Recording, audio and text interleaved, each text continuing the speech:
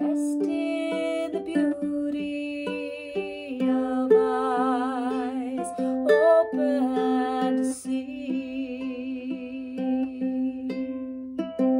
Thanks for joining me today. Today we're talking about resting in the beauty of the eyes open to see. Are you willing to really see from your light being?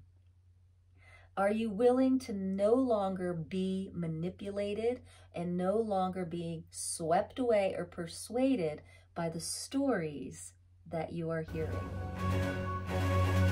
There are a lot of stories out there, and it's really easy to get swept away and persuaded by them.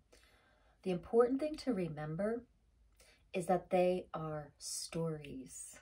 They are polarized stories that is all coming from the infinite creator, um, which we are all a part of, and they're all stories. So there is a concentric circle model that I play with, and I feel like it's really helping shed some light on the realities we are living all here at once. So think about this. Think about the stories, every story, whether it's a story of light, whether it's a story of darkness, whether it's a story of politics, whether it's a story of relationships, schools, whether it's a story about evolution, it's all a story. And all those stories are right in the center, right in the bullseye. Okay, these stories right here all right. Now, anytime we start to have a broader perspective of this story and we go out into the next ring and we try to figure out psychologically what's happening with the people, why does this happen kind of thing. We're in the psychological realm. And if we broaden our perspective from that, we go out into this other ring, kind of the spiritual energetic realm. What's happening energetically and spiritually? And then the glory of this next ring is out here in oneness and unity. This is that ring that we are in this witness body. We get to like peep in. We're like little voyeurs, if you will, at all the stories and and how it's happening and why and all the interplay. And out here in this oneness ring, we get to be kind of non-polar observers, okay? Non-objective observers. We just get to witness it all. We are witnessing without reactions. And so, so I would really want to talk about this today because I've been, since I've been on YouTube every day for the past, I don't know, four or five months, um, I have been listening to some crazy stuff, some crazy conspiracy theories, some crazy stories. And crazy, what I mean is just, wow, there are some really interesting um, perspectives out there and stories. And it's really cool. It's really cool where the stories are going. We have kind of mainstream stories, and then we have on the polar opposite all the stories that are kind of um, kind of saying, come out of hide and seek. Like, look at what this story is creating. Look at what they're trying to do. So, the kind of they're this side of the polarity is calling out about how these stories have been uh, manipulating others. And so it's really interesting. However, it's still a story and it's still on the polar opposite end. So if we really want to get out of the this reality of these stories. Because whether it's a conspiracy story or um, a, uh, a shedding light on what is that word? Just um, calling out story it's still a story. And so then we have the story of kind of the mainstream stuff that's happening and it's like oh it'll make your head spin. And so it gets you overwhelmed. It gets you angry for being manipulated all right? So when you are feeling anger and overwhelm and frustration and what do we do now? And I'm going over this side, I'm going to this side of polarity. When we're all in this charged state, we're still in the center bullseye of the story. okay? Even if we go out here and we start to be like, oh, this is why this ha is happening on an energetic level, um, we're still kind of in these inner rings. So, my friends, how do we get to this outer perspective? So we're just kind of peering in and kind of kind of watching. All right? Be of your light body. Be the light. And you may say, well, I can't put my head in the sand and I can't like just live in a bubble. I have to participate. How do we change the world? And I don't know if the world needs changing or if it's just kind of this awakening process that happens and how do we awaken? I have several videos on um, kind of the, the waking up process in my playlist, um, Ascension and Awakening. But for this topic, if you feel like you're getting swept away by a story, even the story that's kind of outing the mainstream story, it's still a story and there's still charge, okay? Any emotion that is not joy and ecstasy and, and peace uh, have us has us leaving our natural state of being. So if you are in a charge, if you are in uh, anger, if you are in frustration and overwhelm, you've left your natural state of being.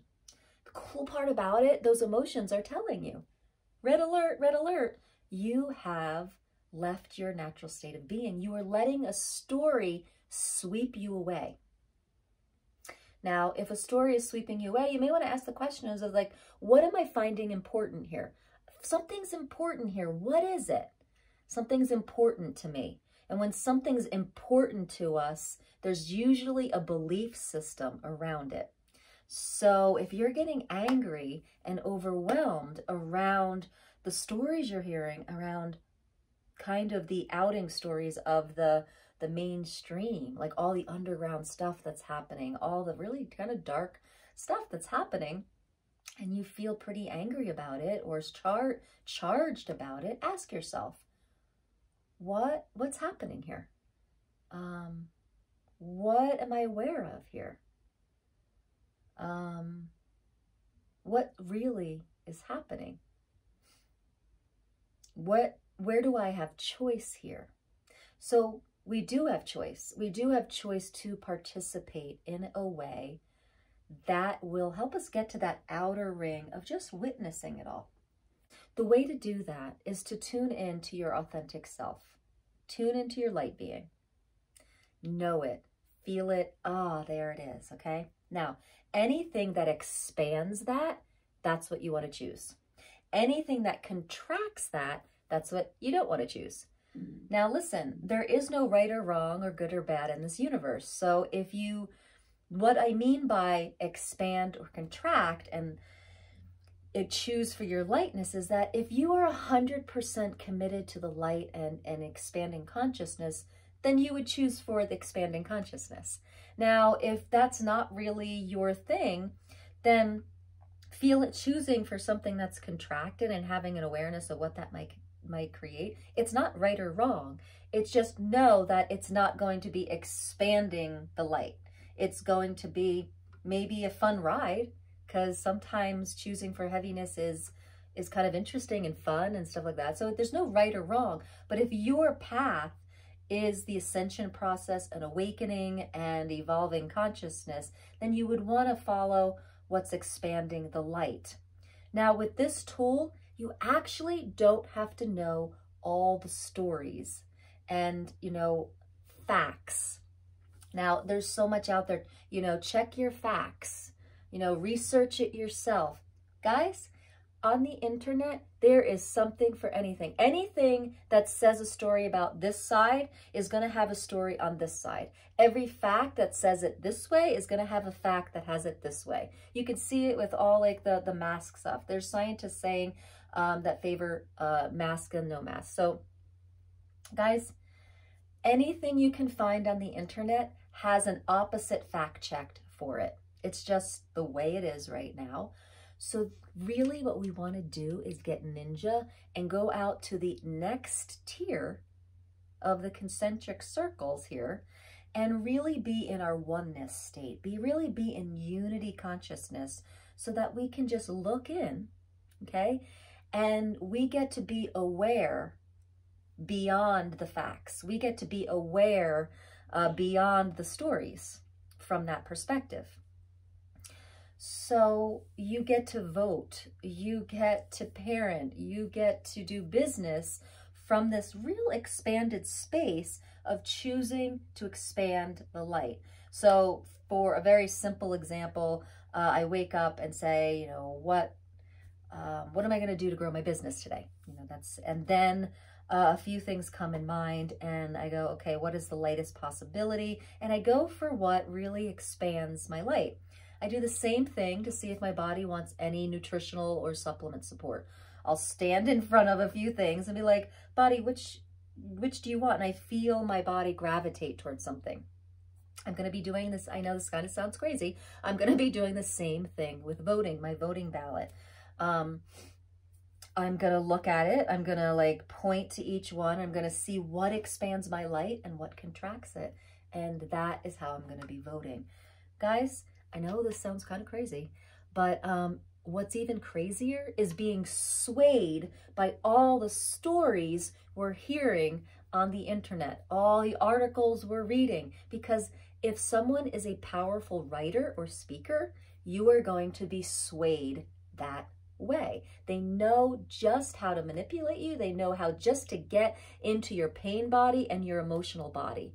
So if you want to stop being manipulated, you're going to have to go out into this outer ring and feel into what your light body is, feel what unity consciousness feels like, and choose to expand that. And every choice you make, be aware of if, if it expands that or if it contracts it. You do not have to go fa fact check checking. You do not have to keep reading stories and watching videos on all these uh, stories unless it's entertaining to you and unless it's light.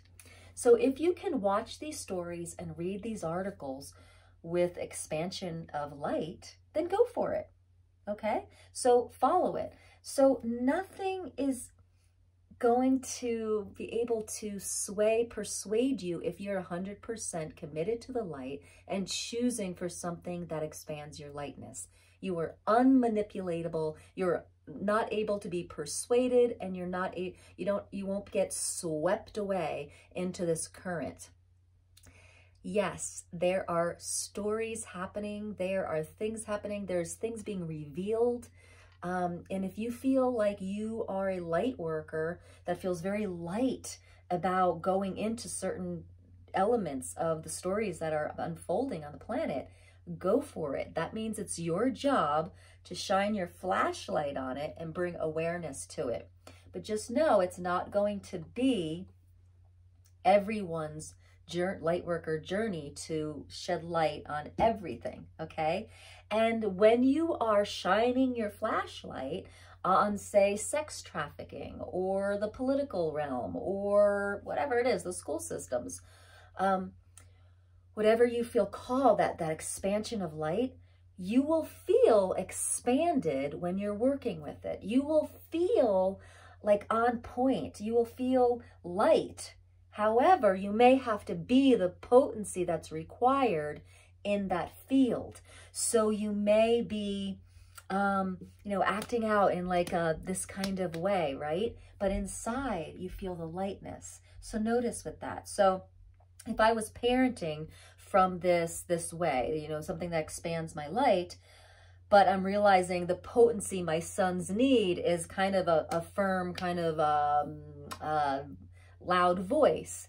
I would be the loud, firm voice, but I would not be hooked into it emotionally. Inside, I would be feeling the lightness. So the same thing is, if you're going into these stories and you're like, um, this conspiracy theory is what one of these things that I feel really drawn to. It feels really light. I'm going to go into it. Go for it. Be the potency that's required there, but make sure in here you're feeling the light and you can act out whatever you want that's required to get the effect that you think um, you're aware of that is required, that is needed. Um, so I hope that's clear. If there's any questions about this, put it in the comments. I'm happy to keep the conversation going here. Um, so as we are going and choosing for our lightness, we also get to be the potency that's required to make a shift. So a good example of that is, is the story of Christ walking into the temple and then Christ having this Christ consciousness, but he was willing to be the potency that the people in the temple could hear by lifting up the uh, tables, right? He got he got feisty. He got he, he he spoke a language that these people could hear by just getting aggressive, right? Flipping the tables over. And most likely he was still holding that light consciousness. So we get to walk that same way. So what are we feeling right now? Um, are can you be in whatever you're choosing in the expanded light body?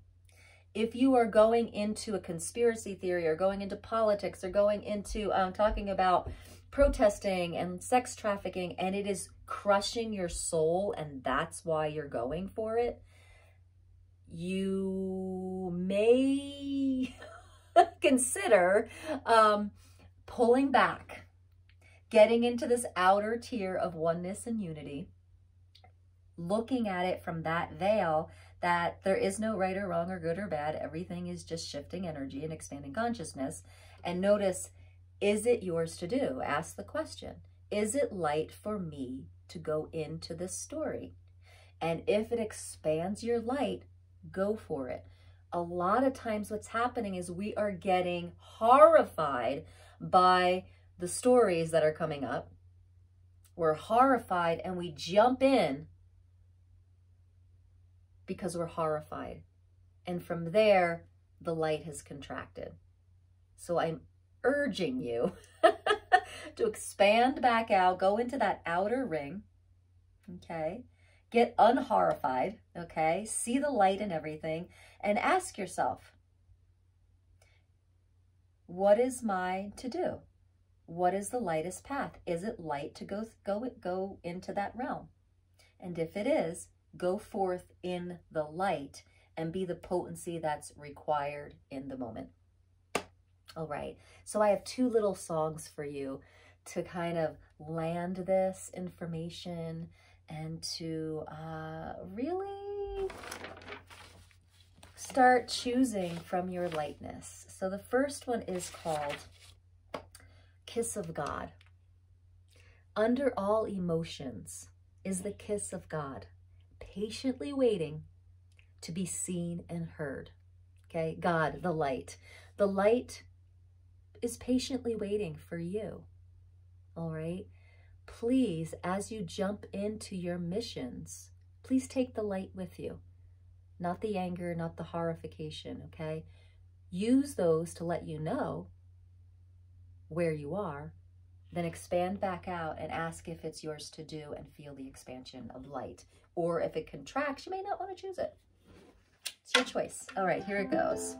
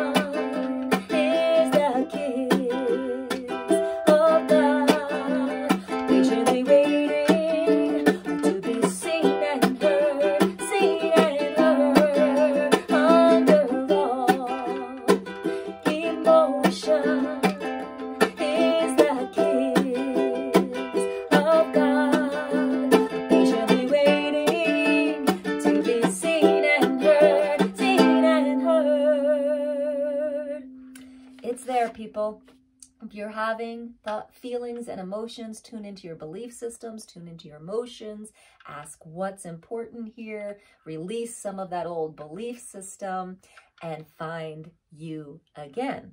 All right, this is the bloom and the blossom.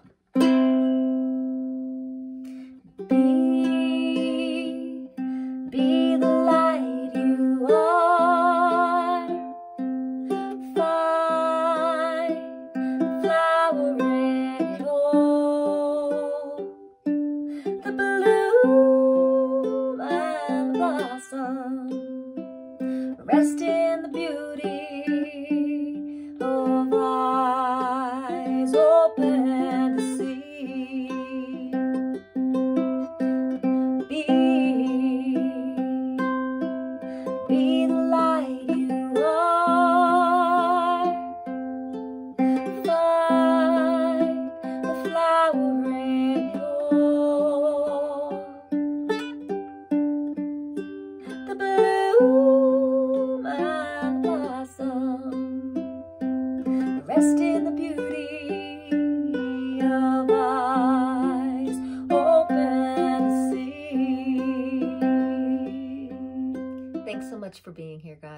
Thanks for listening to this message, and thanks for being part of this high vibe tribe.